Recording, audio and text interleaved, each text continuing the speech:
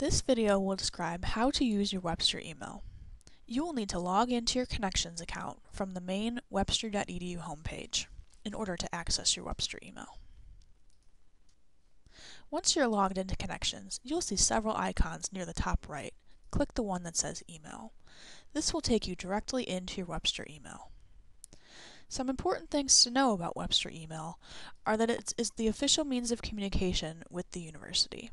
You'll receive general notices and information about your enrollment at Webster through your Webster email.